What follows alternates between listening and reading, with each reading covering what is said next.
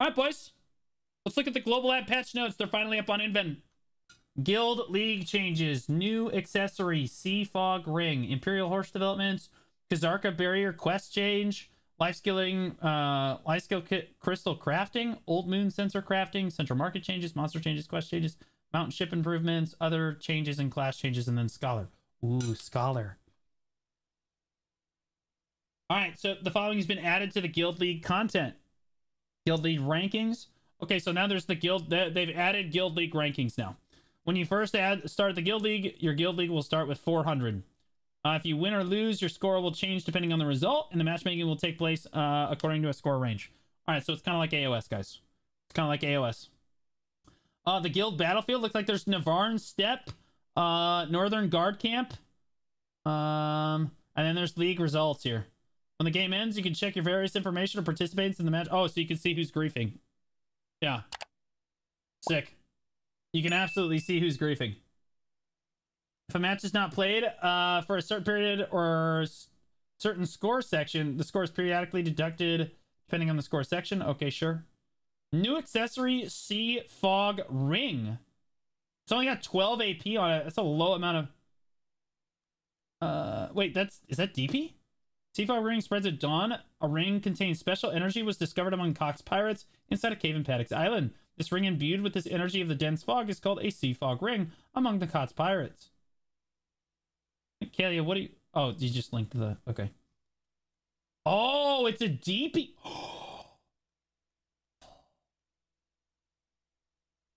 No more Jesus rings, boys? The best in slot evasion ring is no longer a green ring. Ask and you shall receive. Oh, this is huge for DP memes. This is huge. Whoa, whoa, whoa. evasion 12 plus 13 at pen. Hold on. 12 plus 13. Let me see. That is... Oh, there's only 21 on this one. And then there's 25 on this one.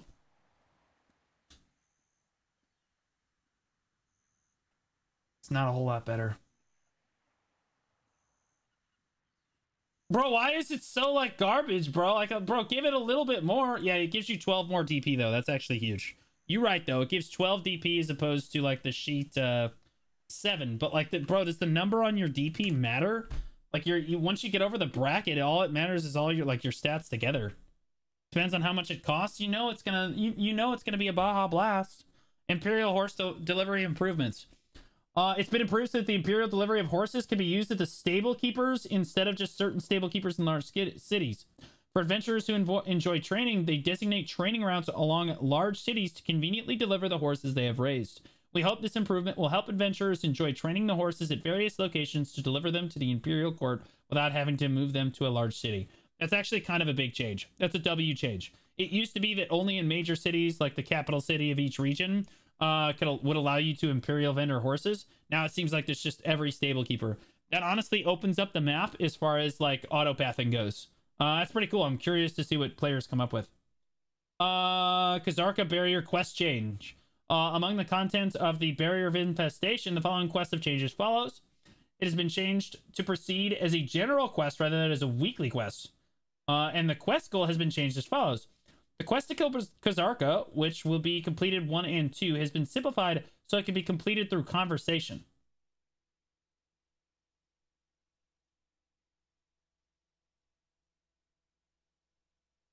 Back in my day, we actually used to have to go kill Kazarka. How is this any better? So yeah, so now just 1 and 2, you just like hear the story. So you just chat with the NPC. And 3, 4, and 5 are the same. I don't even know why they're bothering with this.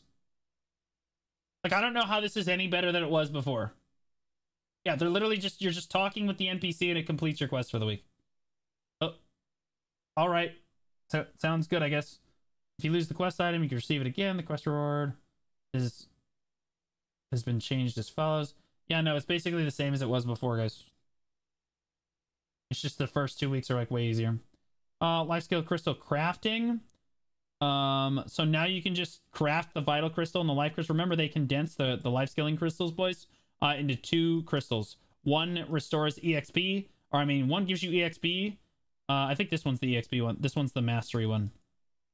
Um, but yeah, one gives you mastery, one gives you EXP for every lightstone or for every single one. So now you can craft them with a forest crystal, 50 trace of the forest, 50 magical shards, 100 lightstone crystals, uh, 10 spirit leaves for the vital crystal, and 10 bloody tree for the life crystal. Yeah, whatever. Sounds good. Get a forest crystal, obtain a crystal. Easy peasy. The rest of it's really kind of a joke. Old moon sensor crafting. Oh my goodness. Please give us quality of life update on this. A new recipe for the old moon sensor has been added. This is what you need for the T10, guys. This is like T10 attempts allowing you to craft the old moon sensor in different ways depending on the materials you have. Among the two current production methods, uh, the method of making the old moon sensor using pure minerals uh, and the melody of the stars as the main uh, materials is widely used. However, this method requires a met uh, metal melting agent. They're talking about metal solvent, which makes it difficulty uh, for to easily purchase for low-level materials to make yeah, so it's in other words, it's just tough to make it because you need to constantly combine stuff with metal solvent to get the pure crystal that you need. Uh, the new crafting method added through this update crafting method that relieves the inconvenience of purchasing materials, blah, blah, blah. Okay, all right, let's see what they did. Let me just see what they did. A new recipe has been added. Now it's an old moon sensor mold, which you needed before. 300 lightstone crystals, 400 old moon alchemy catalysts, which I'm pretty sure you can buy from a vendor. 1000 copper ingots 1000 tin ingots that's that's like probably the easiest one to put together i'm not sure how cost efficient that necessarily is but like this one is definitely a lot easier. Copper and tin ingots are basically always going to be available in the market. I'm not sure how much for 400 old moon alchemy catalyst is. That should be i think you buy that from a vendor. Vital equals mastery life equals exp okay. Three mil each. Okay, so that's really expensive. It's 700 million. Don't worry. Copper ingots are always on the market, guys. People have these available all the time.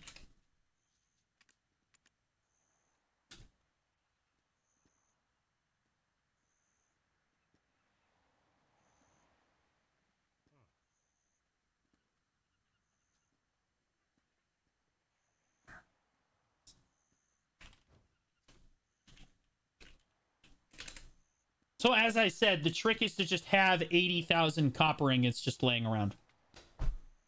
Um, and so, yeah, this is just a W for me. I'll probably just sell all these for max price. Um, and the rest of you can, I, I will provide the entire market with copper ingots. Um, easy W. Easy W. What about tin ingots? Are those going too? Yeah, honestly, uh, e easy dub for me. Um, normally, guys, this sits on the market, but I get, yep, I guarantee you that people just bought them all. It's the same, like two or three people just buying them all off the market immediately. That's actually kind of a W because you can just AFK process that stuff, um, and profit tremendously off your worker empire. So I'm probably gonna AFK. Honestly, AFK processing might be huge if those if that price goes up goes up a lot. Uh, central market changes. It looks like number of uh, number of the following 15 item, items registered in the central market is large. Maximum quantity can be purchased. Okay, so in other words, if there's a lot of this stuff on the market, you can buy more of it is a at a time, so that you don't have to like buy such a small amount at a time. Uh, burnt remnants of the spirit, green coral, gold coral, white coral, jade, uh, jade of time. I'm not sure what jade of time. Jade coral ingots probably. Uh, blue whale mate, uh, blue whale oil, blue whale tendon, uh, thick turo blood, uh, encroached earth, the remnants of the burning sun. I'm not sure what remnants of the burning sun is. Uh, concentrated magical blackstone weapon, concentrated magical blackstone armor, source of the wind, and uh, sweet mead. Uh, this looks like beer, I think. Sweet mead is probably beer. I'm not sure what source of the wind is. Uh, everlasting herb. Herb's central market upper limit has been re has been changed uh, from 300k to 1 million. Okay, is that even is that even relevant? It is not relevant. Nobody cares. Uh, monster changes. City of the Dead. Locations of some of the monster hordes uh, have been corrected. All right. Thornwood, of Thornwood, Ahab Demonic Warrior has been modified so that it does not make attacks that grant beneficial effects to the opponent. Okay. Uh, that makes of Thornwood a little bit easier. uh, in Izrahid Plateau. This is the uh, new area that we don't have yet. Uh, Sakarian has been changed to no longer attack uh, in a condition that ignores the defender's um, super armor or frontal guard, uh, is basically what that means. An issue where it was possible to intermittently, in situations where it was possible, has been. Okay, so just fixing bug fixes with it. Quest changes. All right, random quest changes. Ship improvements. When boarding a large ship arriving at a location where you set navigation has been in, improved to stop at the arrival point, even if you're using the breezy sail skill. Oh, you mean I'm not just gonna sail at full speed into the harbor like a scene out of Lost World? Uh, y'all remember what I'm talking about, right? Like the boat just comes out of nowhere and just plows through the dock, and we're like, we have arrived. Sweet. Um, all right, so fix a couple other issues. When transporting amounts, selectable nodes have been improved uh, to be displayed sorted by territory. Okay. Morning, Shannon. When transporting amount, you can go directly to the list of the territory displayed in the UI. Okay, so transporting amount is easier now. Sweet. Uh...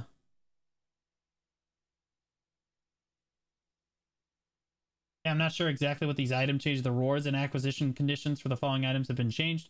Not really sure what this means.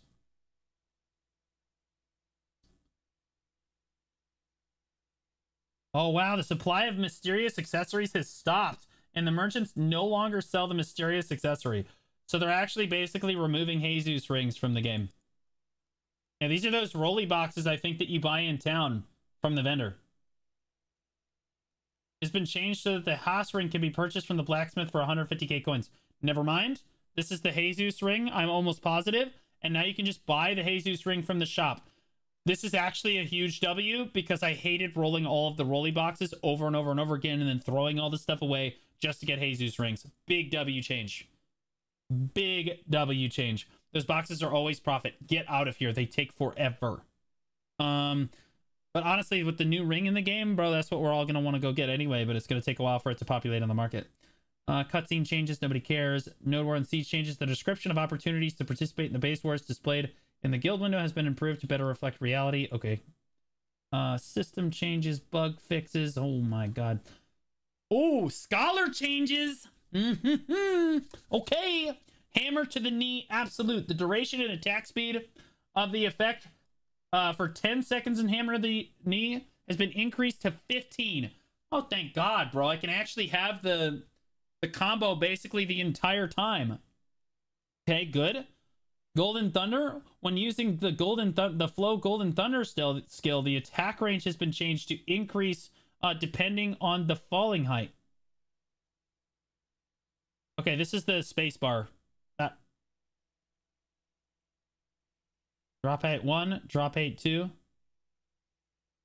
Drop height 3. Oh, okay, so you're just doing more damage? Oh, look at the...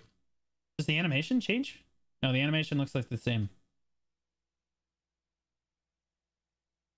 It looks a lot wider though. Yeah, look at the AoE, guys. Well, I don't know. It looks the same. Am I crazy? It looks the same in every single event.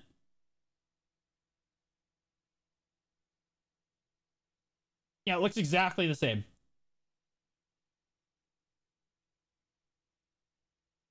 Yeah, I get. I, I'm not sure. Hammer spin. Skill's been changed as follows. The 15% reduction in all speeds for 5 seconds upon successful hit has been removed. Okay, so no more slow on that. The effect has been moved to the potential energy skills. Well, potential energy is down E, I think. Uh, the health recovery effect upon successful hit has been added. 40, 50, 60, 70. Oh, that's good. That's huge. So you get a bunch of health back for using hammer spin. That's really good. Potential energy. This is the down E. This is your ultimate, I'm pretty sure. Um, Upon successful hitting, a 20% uh, attack cast for 5 seconds has been added. Whoa. Oh, a reduction in... 20. Okay, so now it's a slow. So your ultimate ability, when it's not using the ultimate, is a slow. Um, the plus 10 to 20 effect for defense increases for 10 seconds when using the skill has been removed. This effect has been moved to the core fusion skill. Okay, core fusion. Plus 20 uh, effects for all defenses for 10 seconds has been added to the core fusion skill. Which skill is core fusion? Let me check it, boys. Uh, gravity blink. When using the gravity blink skill has been changed to start moving immediately as soon as the hammer is thrown. Thank goodness. This is much faster. This is much better. That honestly makes the class a lot more competitive in PvP as well. Um, so we need to know what core fusion.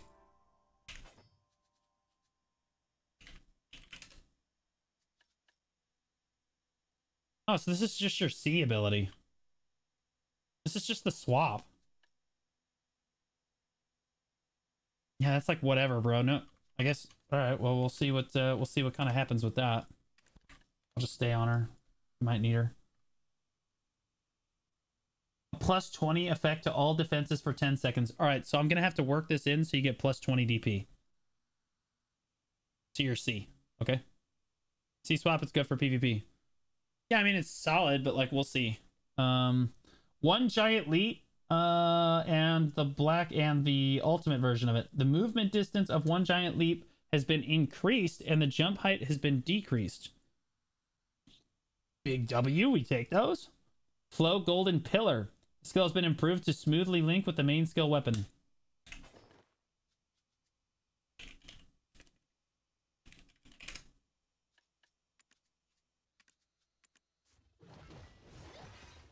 Oh, this is just your RMB. Yeah, it's just your RMB, boys. Like, whatever. All right, gravity press. The movement speed of gravity press has been increased. Uh, when using the gravity press skills has been improved so that you climb up slopes more smoothly in the air. Gravity press.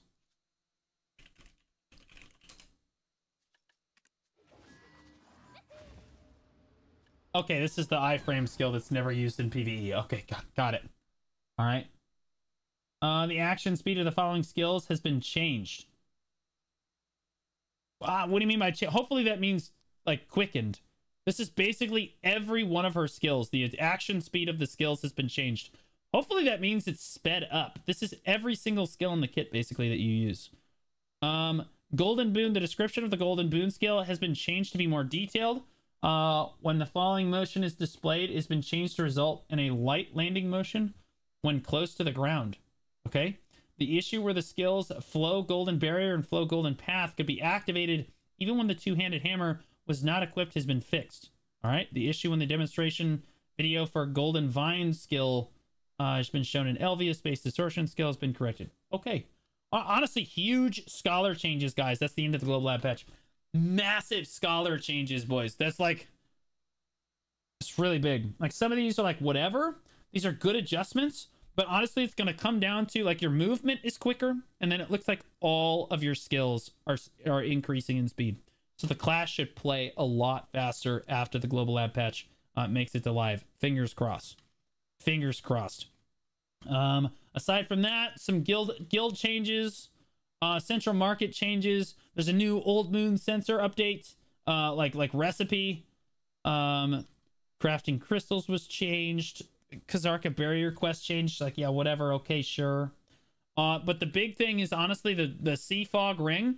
No more Jesus rings. This is now the best end game ring in the game for late game uh, DP memes. Uh, is definitely the the the fog ring. Uh, honestly, makes Padix super relevant now. The Sea Fog ring makes Padix. Uh, though, if you're grinding for your, or if you want your merchant ring, you should go to Padix right now. This is going to increase the silver per hour of Padix pretty dramatically, at least in the short term, uh, until the market floods because all the DP memes get their rings done. But yeah, absolutely big global lab change, boys. Big, big global. Oh yeah, and then the GVGs, and then the GVG changes. Big global lab changes, guys. Oh, dude, my